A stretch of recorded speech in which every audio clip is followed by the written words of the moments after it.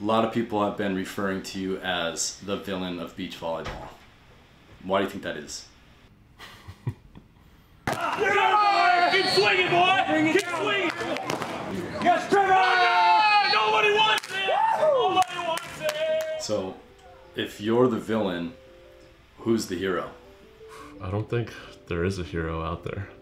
Just can't acknowledge. I just can't Can't acknowledge acknowledge that there it. is one. No. Do you like movies where the bad guy wins? Sometimes I do, if it if it fits. What's your favorite movie? Happy Gilmore, but Happy wins at the end. Shooter. I'm a huge fan of Shooter though. I I'm more of a Shooter McGavin for sure than Happy. So you eat for breakfast? No.